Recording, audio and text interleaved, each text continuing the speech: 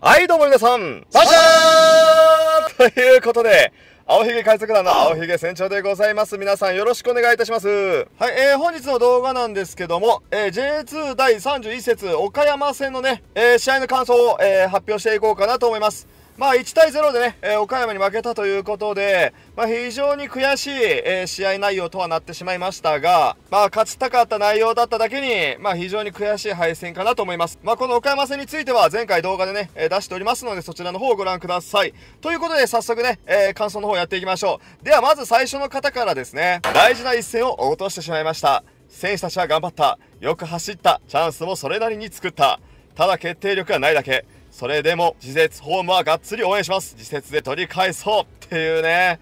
いやいや、非常にね、その通りですね。えー、選手たちは頑張りましたし、まあ、チャンスもそれなりに作っていた中でなかなか決めきれない。もうこれはね、大分がね、もう開幕からずっと言われ続けた決定力のなさ、まあ、そこがね、出たのかなと。まあ、それでもあとは応援するしかないんで、次節仙台戦ホームですかね。まあ、皆さんでね、全力で応援の方よろしくお願いいたします。では続いての方はこちら。攻めているのは分かりましたが、決めきれない、我慢しきれない、これでは勝てません。っていうね。なぜ点が入らないのか。なぜここまで打ってもゴールにならないのか。まあ、それがね、非常にこう、もどかしいというか、まあ、見てる側からすれば、なぜ決めきれないのというね。いや、そういう試合内容だったなと思います。では続いての方はこちら。勝ち負けではなく、自分たちのスタイルを貫いた試合内容に思。います残り11試合勝てば他はどうでもいいとは思いませんが勝つためのサッカーをやってほしい。それができないと、昇格はプレーオフからになると、それならなのか、それでもなのか、チームの意思統一して、それをピッチで表現してほしいっていうね。いやーね、あのー、確かにね、僕も見てて思ったんですよ。うん、この試合ね、まあ、自分たちのスタイルを本当貫いたような、そういう試合内容にも見えたかなと。ただ、あともう11試合しかありません。ね。今から戦術を変更するっていうのは、ほぼ不可能なんで、もうここからは徹底的に自分たちのスタイルを貫いて、戦って勝利を積み重ねてほしいなと思います。では続いての方はこちら。フォワードがシュートを打たないんじゃ話にも何にもっていうね。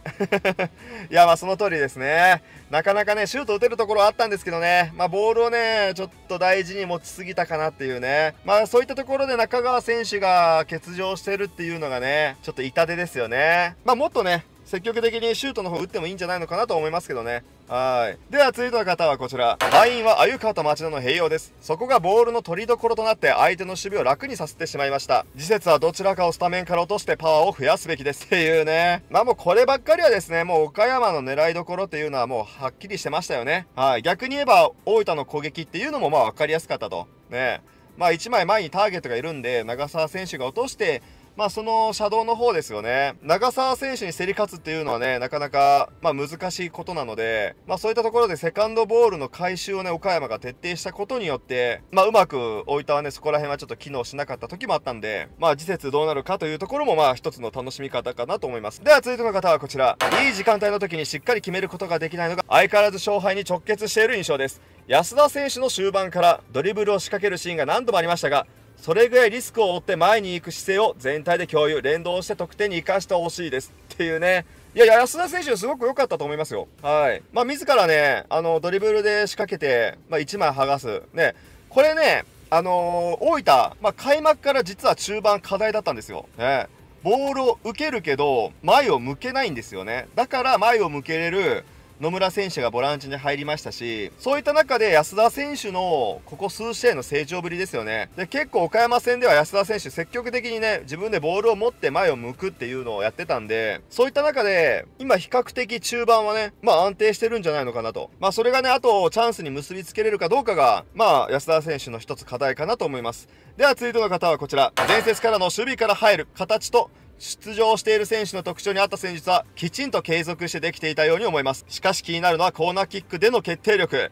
去年は三沢坂選手がキックの直前に相手を引き連れながらニアで潰れることでペレイラ選手が得点できていました今の選手たちは高さがある選手が揃っているので高さ勝負になりがちですがそういう動きを安田、藤本選手あたりができるようになれば、もっと得点ができると思います。っていうね、まあ、コーナーキックに関しましても、なかなかね、あの、得点の匂いってなかったですよね。まあ、もちろんね、大分は高さがあるんで、そういった中でね、まあ、ふんわりしたボールを上げて、高さで勝負をするというのをやっていたんですけども、まあそれでもね、結局体を寄せられると思うようにね、コントロールできないんで、まあそういったところも含めますと、まあ一つ二つアイデアは必要なんじゃないのかなと思います。では続いての方はこちら。やっぱりサッカーではストライカーがいないとうまくいかないのかなと思いました。フォワードがいないと夏は厳しい。前半うまくいくと失速してしまいます。まあやっぱ大分はね、ストライカー問題はね、なかなか解決はできなかったですね。まあ、まだ11試合ありますけども、まあそういった中でね、残り11試合でフォワードが化けて得点を量産してもらいたいなと。その中でね、いや、大分のあの選手今勢いやべえぞと。そういう選手がね、やっぱり出てきてほしいなと。そこがね、やっぱ若手がいいなと思うんですよね。藤本選手であったり、高畑選手であったり、まあそれこそね、鮎川選手とか、やっぱ勢い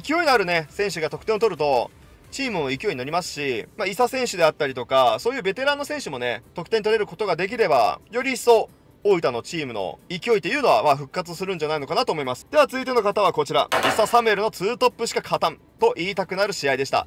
鮎川が当たり負けるシーンが気になりました。安田が今日マーク疲れてるのに、自分でもう少し工夫しないから、町田や長澤が降りてきてましたね。中締められてるなら選手のポジショニングでコースを作らないといけません。岡山の大分対策も良かったけど、安田はアイデアがありませんでした。っていうね。まあ、伊佐選手とサムエル選手のね、ツートップ非常に良かったですよね。後半入ってからのあのツートップですよね。まあ、サムエル選手が中を固めつつ、伊佐選手が追いかけ回してっていうね。まあ今中川選手がね、怪我で、まあ出場できないんで、そういった中でしっかりと前線から走れる選手、伊佐選手とかね、まあそういう選手がね、今大事だなと。まあそれを痛感する、まあ後半戦だったなと思いました。では続いての方はこちら。今日は鮎川への配球、長沢の決定力が気になりました。決めてくれっていうね。いや、長沢選手のあの決定機の場面、まあそこで得点が取れていればっていうのはあったかもしれないですね。もう運がないと思って切り替えるしかないと思います。はい。こればっかりは。では続いての方はこちら。今のトリニータでは J1 に上がっても1年で降格するでしょう。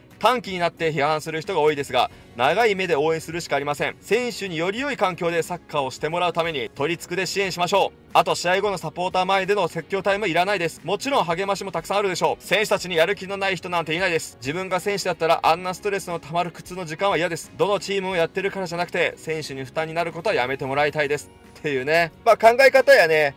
えー、まあ、応援の仕方というのは人それぞれだと思うんですけども、まあ、もちろんね、今トリニータって1年で昇格できれば本当にいいと思うんですよ。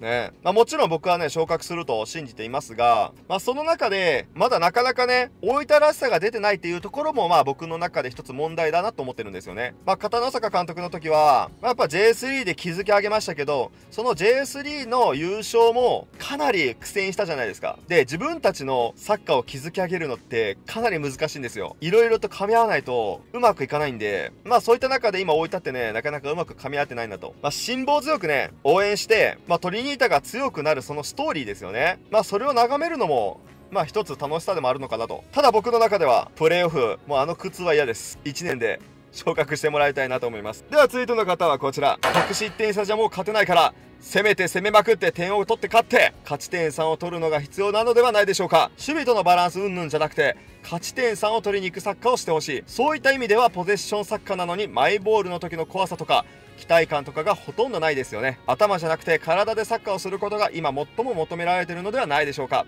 っていうね、まあ、大分がね後ろからつなぐっていうスタイルはね非常にいいとは思うんですけどただその後の展開ですよね。相手を剥がす動きであったりとか剥がした後の前への推進力っていうのが今なかなか足りていない。スピード感がない、まあ、今いる選手の中でしっかりと良さを出しつつ、前の怖さをしっかりと出してほしいなと思います。では続いての方はこちら。勝ちたいなっていうね。いや、その通りですね。もうその気持ちすごくわかります。藤枝で勝って、岡山に負けてというね。まあ次ホームなんで、しっかりと勝ってもらいたいです。では続いての方はこちら。うーん、自分は勝つという気持ちがあまり感じられませんでした。長さを狙ってロングボール蹴るのはわかりますが、鮎川だけだとこぼれ球の対処が厳しいかと。あと、車道の2人が下がりすぎです。下がって配球するのはいいけど、相手が釣られないから意味がない。とにかく今からは攻めが大事。得失点が物語ってるけど、このままじゃプレーオフも危ういぞというね。まあ、長沢選手と鮎川選手のね、その連携力っていうのは今非常にお見事なところはあるんですけど、ただこの試合ですね、まあ、どうしてもこの前線の選手が下がり気味なんですよね。なので、ボールを受けても前に出すことができないんですよ。特に後半戦の終盤戦、カウンター1本でいけるところが、なかなか選手の上がりがなくて、もう中盤でボールを持ちざるを得ない状況。僕の中でそこがね、まあなかなか今置いた足りてないなと。カウンターがね、今年大分少ないんですよ。まあ、中川選手と松尾選手のね、まあ、決め事みたいなものはありましたけど、まあ、例えば中川選手がね、車道の選手ですけど、最終ラインまで降りて、俺がボール持ったら前に走れというね、まあ、そういう指示もあった中で、まあ、1回得点生まれてるんで、まあ、そういう連携っていうのを、各自の選手が、まあ、やっていくことが必要なのかなと思います。で、今、得失点差がね、マジでやばいんで、もう本当勝ち点で勝ち上がるしかないです。はい。正直得失点差で今から勝つってなったら1試合平均多分56点というか10得点ぐらい取らないと他のチームにね追い越せないんでただそのぐらいの気迫を持って試合してもらいたいなと思います。では続いての方はこちら。シュート14砲で枠内ゼロ。そら勝てんよな。西川よく耐えていたが決定力はミスターにストライカーコーチをしてもらう。マグノとかウェズレーにストライカーコーチをしてもらえたらいいんやろ。っていうね。いやーどうすかね。いやでもマグノ選手とかウェズレー選手とか、まあ、高松さんとかそうですけど まあでも正直ね、決定力というか、まあ、タイプが違いますからね。ただ僕の中ではマグノ選手であったり、ウェズレー選手、そのコーチはサムエル選手についてもらいたいなと思います。で、高松さんのコーチ、まあ、伊佐選手につけるべきなんかなと。ミスターからミスターっていうね。まあ、そういうのがね、企画だったら面白いなと思います。っていう感じでね、皆さんたくさんの感想ありがとうございました。ね。まあ、非常にね、悔しいですよ。はい。まあ、非常に悔しいですし、勝ちたかった。まあ、あと決定力がなさすぎた。まあ、もちろんね、選手とかもね、あのー、必死にやってますけど、やっぱりこう、結果がついてこない、それがね、もどかしいというか、悔しいというか、まあ僕の中でね、今の大分に足りないのって、1試合におけるストーリー性なんですよね。まあ例えばですけど、まあ今の上位のチームで言ったら町田ゼルビア、清水エスパルス、その試合だったら、最初ね、町田が2得点取って、まあ、清水が3対2で、まあ、逆転して勝ったとか、去年で言えば、まあ、千葉にね、大分が2対0から3対2で逆転して勝った。ああいうね、1試合の中で、ストーリー、始まりから終わりがある。そういうサッカーがね、なかなか今年見れてないなと。もちろん感動する試合ありましたけど、ただ、涙を流すような、そういうドラマってまだ作れてないんじゃないと思うんですよね。つまり何が言いたいかというと、そのぐらい、試合における迫力が今足りてないんですよ。それは決して選手たちのやる気がないとかそういうのではなく、勝ちたい気持ちはあるけど、結果が、内容がついてこない。そこやと思うんですよね。残り11試合、1試合だけではなく、その11試合を含めて、全部を含めたストーリーを作り上げてもらいたいなと思います。そして最後に、去年の悔し涙を今年は喜びの涙に変えようじゃないですか。そのために僕たちに必要なことは全力で応援することです。次の仙台戦皆さんもぜひドームに来て足を運んで心から応援していきましょう。ということで今回はここまでにしたいと思います。皆さん最後までありがとうございました。よかったらチャンネル登録高評価の方よろしくお願いいたします。ということでまたね